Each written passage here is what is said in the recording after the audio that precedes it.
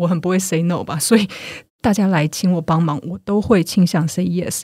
但是呢，如果我的能力没有到那边的话，或者是我的时间管理没有到那边的话，我是真的有可能说 yes 之后又把这件事情搞砸的。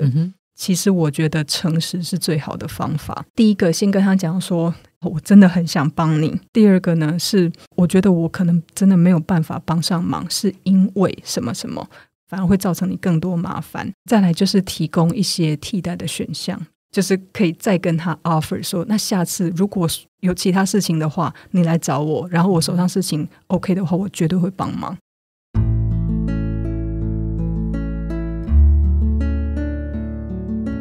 植牙诊所，帮你一生都精彩，从新鲜到退休。Hello，大家好，我是主持人 Pola。在新一季的内容策展呢，我们推出了职场好好学的系列。在上一集我们听了破冰学之后呢，在这一集我们来学怎么样学 Say No。今天这一集来宾，我们邀请的是美国非营利组织 Give to Asia 亚太经理张静仁 Jo 来担任今天的来宾。Hello，Jill，我们又见面喽。Hello，Hello，Paula，好，各位听众朋友，大家好，我是 Jill。我们让听众可以多认识 Jill 一下，好不好？我大学是念俄文跟社会，然后呃，研究所念运动管理，嗯，然后运动管理毕业之后，我就进入运动产业，我做过运动行销在美国，然后运动经济在台湾。之后就到了美国州政府去做国际采购、国际贸易，然后再到非营利组织。那我现在是在美国的非营利组织 Give to Asia 上班。嗯哼，那个呃，具有做运动行销的时候啊，他曾经帮呃五位台湾的球员签到了美国大联盟的签约。那他现在在 Give to Asia 的这个呃专案管理，也是一个跨国型的哈。哇，这个 range 蛮大的。我们从日本啊，到阿富汗啊，到蒙古啊，到澳洲啊，有超过二十三国的这个呃专案。管理的经验哦，他也曾经在两年之内就让这个公益案件的募款能够翻倍，所以在这个呃主管眼中的他，呃几乎是一个不打草稿的人，在美国的同事的眼中，他是台湾来的怪物哈。所以我们今天就请这个看起来有点冲突哎，但是又很厉害的这个 Jill 来跟大家讲一下怎么样学 Say No 哈。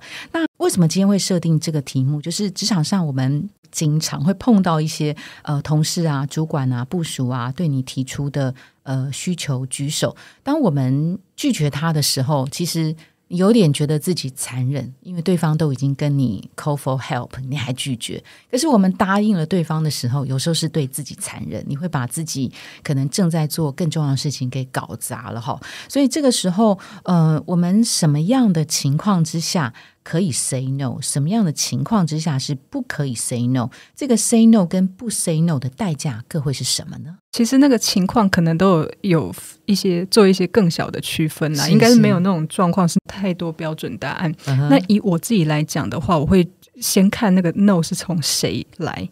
如果是从主管来的话，对我就会尽量说 yes。哦，所以要听众 听清楚哦。如果是主管对你提出的需求的时候，尽可能说 say yes。对，尽可能。那重点是尽可能这三个字，因为呃，我手上如果很多事情的话，然后他又知道我一定会大部分时间会 say yes，很多状况就是会。台语叫做“扔头请滚”，会让人家予取予求，然后就变成说：“哦，反正有人摆烂，可是具有一定会接，那我就什么都给具有这样子，这样子也不是我们想要见到的。”所以这个时候，我觉得向上管理的能力就很重要。嗯就是老板在请你做这件事情的时候，你可以很明确的跟他讲说：“哦，好啊，我手上目前有。”呃，十件事情，我的 priority 大概是怎么样？我优先顺序大概是怎么样？那老板，你这个有多急？我需要替换掉哪些事情？或者是我如果一到十的话，我需要把它排到第一位吗？还是排在第五位、第七位就可以了？我觉得可以用这个老板在做出请求的时候，直接去跟他讨论你的工作的优先顺序是不是需要调整。我觉得这个有两个好处啦。第一个就是让他知道说，他这个工作加进来是会有排挤效应的。你不是整天就是闲着在等他嗯交办临时的事项给你。然后第二个呢，就是你可以很明确的知道他这件事情的工作量跟工作的紧急程度，然后讨论出来的优先顺序基本上是你们两个都同意的。所以今天如果因为做了他这件事情，让你另外一件事情必须要晚一点完成。诶，他也不会说太多的话，因为是你们两个一起讨论出来，而且他同意的这样子。所以我觉得，其实，在某种程度之下，并不是说说 yes 就 yes，而是说 yes，然后呢，我们来讨论一下这个 yes 的程度是怎么样。嗯哼，对，这是以老板来说，以主管来说。嗯哼，那如果这个请求呢，是来自于你的平行单位。或者是别的部门，我觉得可以，就是可以看看各种状况啦。当然，我知道很多时候我们会 say yes，比如说像我，我就是个性上就很不能说 no 的人，我就会 say yes。然后第二个，或者是你就觉得说啊，平常大家互相帮忙，多一个朋友就少一个敌人，所以有办法帮忙就尽量帮，不然以后他冲康你，你也是觉得没有什么好处嘛。大家。维持一些合作的关系，嗯嗯，然后或者是有一些人情啊什么的关系这样子，然后或者是两个部门之间 因为一些历史因素什么的，嗯，那个时候你没有办法拒绝。我觉得情境有很多，但是呃，因为是平行单位的关系，他那个处理的时候或沟通的时候，可能就不像。主管那么的清楚，嗯，因为你跟主管的话，你可以很清楚的跟他讲说，哦，我这件事情如果呃你的加进来，我其他都要往后推啊，反正我的 team 就是你的 team 啊，所以我的工作就是你的工作，其实比较好沟通。可是如果是不同部门的话，很多时候呢，其实你要看一下你主管知不知道这个状况，还有对方的主管知不知道。是是是。那如果说是两个部门之间的事情的话，我是。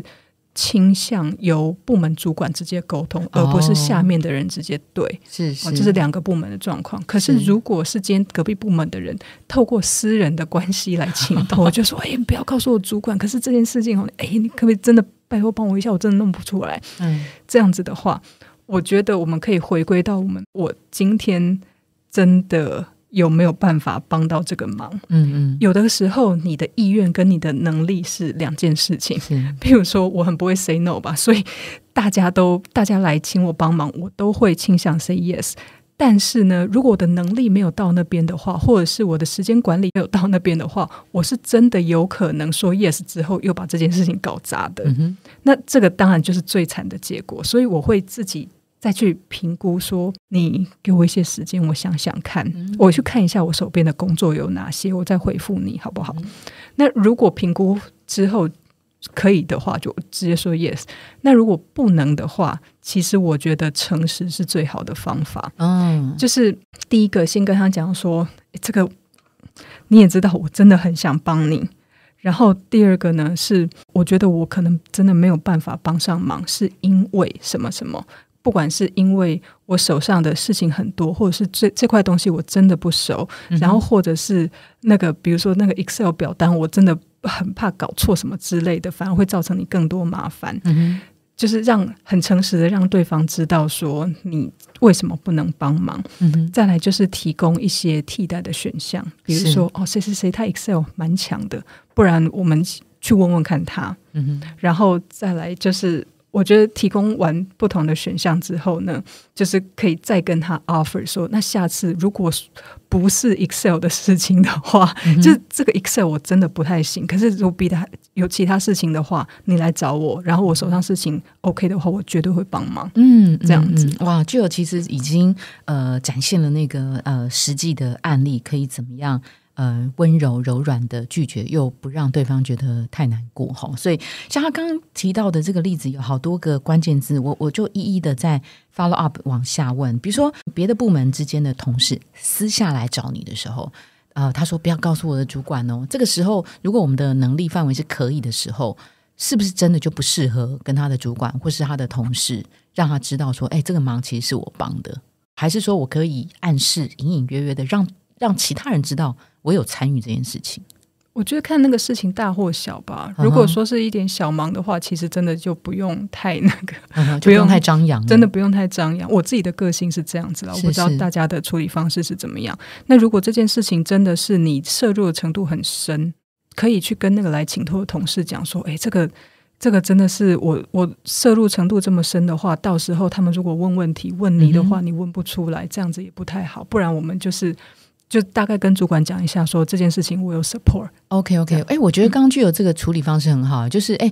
如果我摄入程度很深，那到时候大家问问题你答不出来的时候，是不是由我来回答？其实这样讲的时候，大概呃周围的人也都知道说，哦，这件事情原来是具有有帮忙，对不对？你不用多说其他的，他们都会知道说，原来具有是有参与这件事情的，对不对？好，那再不然的话，就是跟对方讲说，那跟我的主管打一个招呼，好，这是一种情境，就是私下请托的时候，我到底要不要说？这件事情是我也参与在其中。那第二个是部门跟部门之间，如果说呃来互相的请求，呃彼此可能要稍微支援。就有刚好提到说，还是我们各自向上反映，请部门的主管来说这件事情。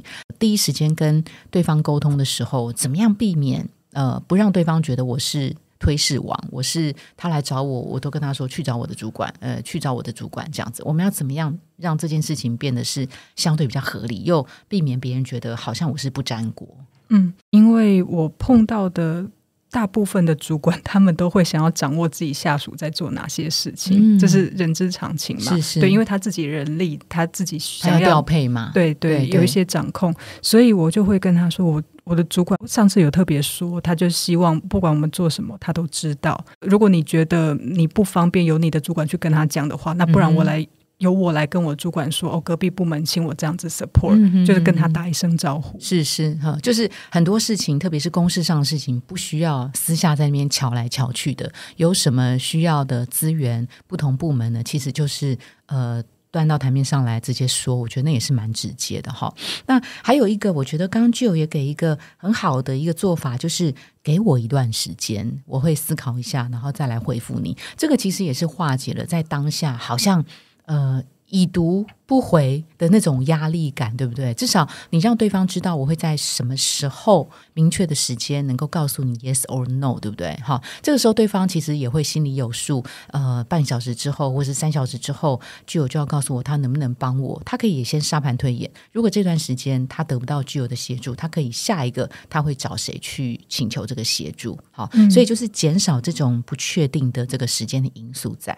除了 buffer 之外，可以再加上一点点，比如说，目前手上事情真的很多的话，你可以跟他讲说，我我手上事情现在比较多，可是你给我半个小时，我瞧一下，我瞧瞧看，然后在这个阶段的，你也可以给对方一个期待值，譬如说我我会努力，但是我觉得我有办法在这个期效之内完成的几率可能是百分之三十，你要不要同时去找？别人是这样子，那真正确定的答案，我会在半个小时之后跟你讲。是是是，我觉得就是给自己留一些空间，给彼此都留一些空间，让他有时间去找别人，然后让也让自己有办法去盘点一下自己手上的资源。嗯哼嗯哼。那具有刚刚提到的，其实也是哈佛商学院他们曾经教过的这个呃 “say no” 的一个架构，就是所谓的 “yes”。No, yes，我目前也有很多的事情在忙，我没有办法帮你的这个原因。那第三个，这个 yes 指的就是，呃，我虽然没有办法帮你，但是谢谢你在你碰到困难需要帮助的时候会想到了我。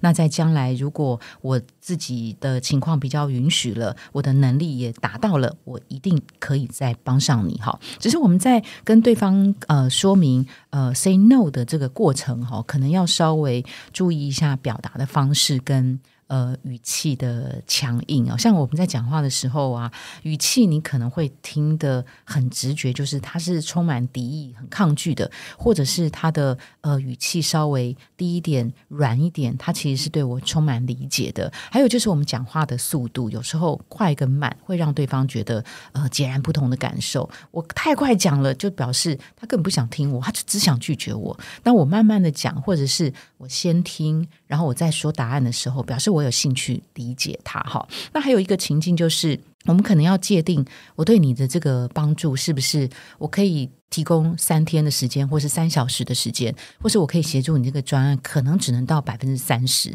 这个是不是要明确？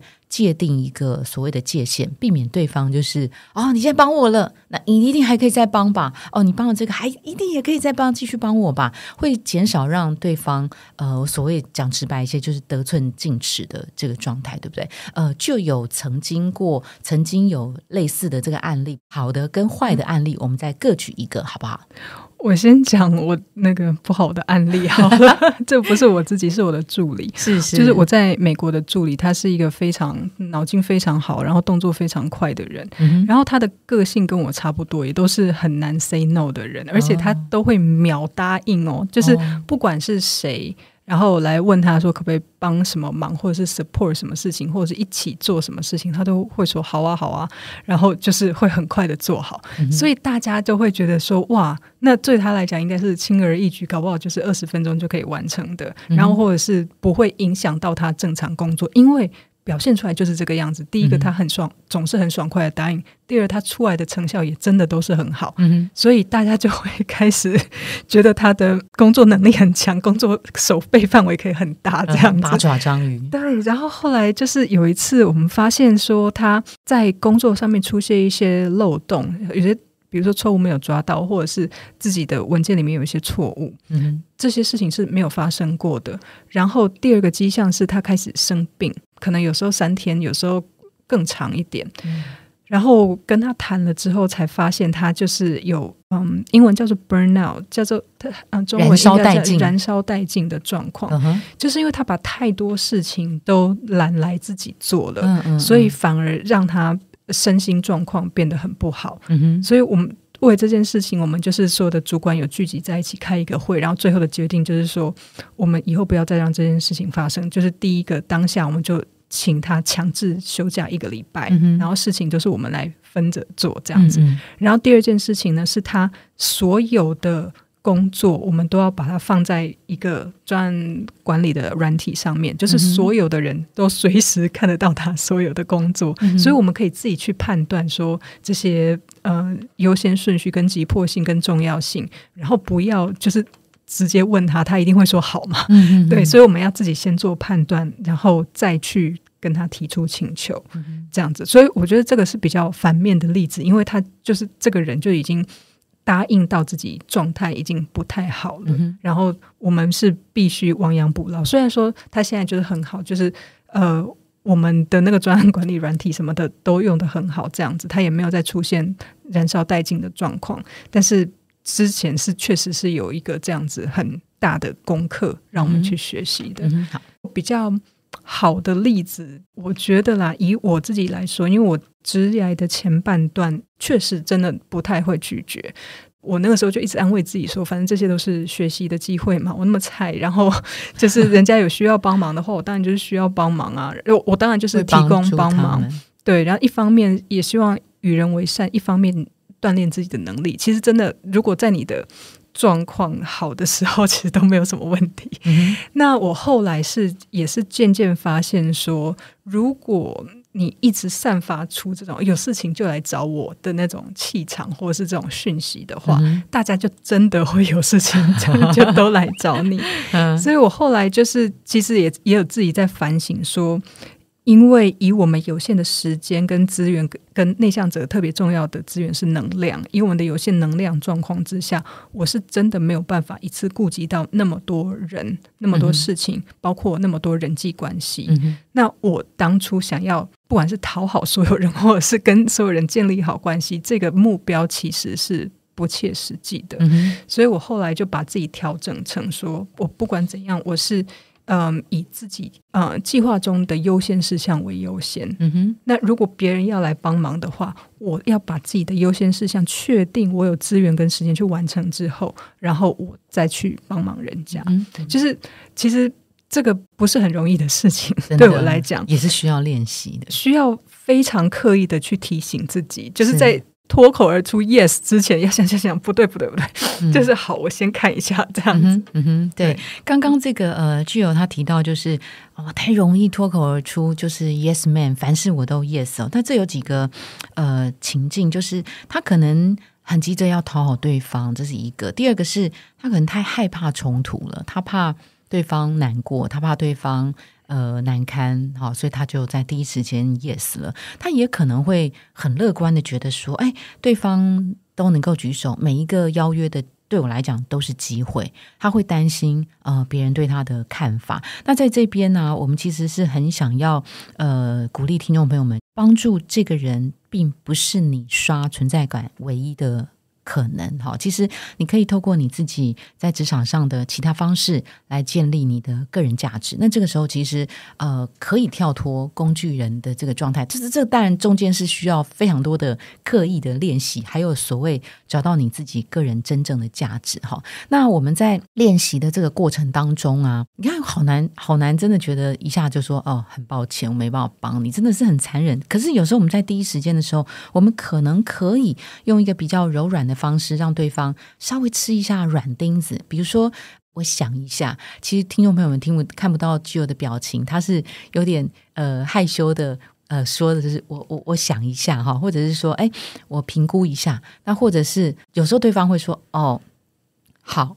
啊，这个时候他的反应没那么快的时候，其实我们提出需求的人也别再那么残忍，这其实表示对方已经有一点勉强了哈。那总之呢，我们想提醒，就是想给听众朋友们几个步骤跟建议，可以请大家可以嗯稍微记下来。呃，我们可以表达自己的难处，看一下，如果我没有这些难处，如果我。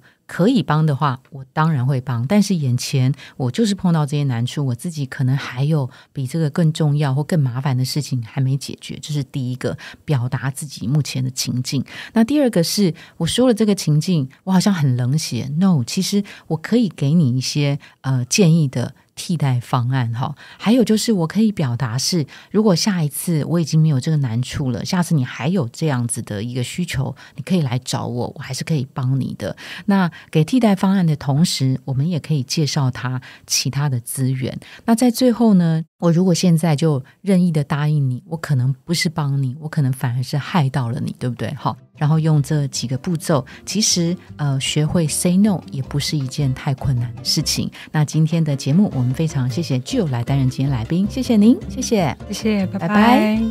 如果您喜欢今天的内容，请给我们五颗星，并且留下好评。假如有更多的问题，欢迎到植牙诊所的网站来发问。特别想听什么主题，请点击节目资讯栏的连结投稿给我们。也邀请您订阅追踪，掌握最新的内容。我们下次见喽！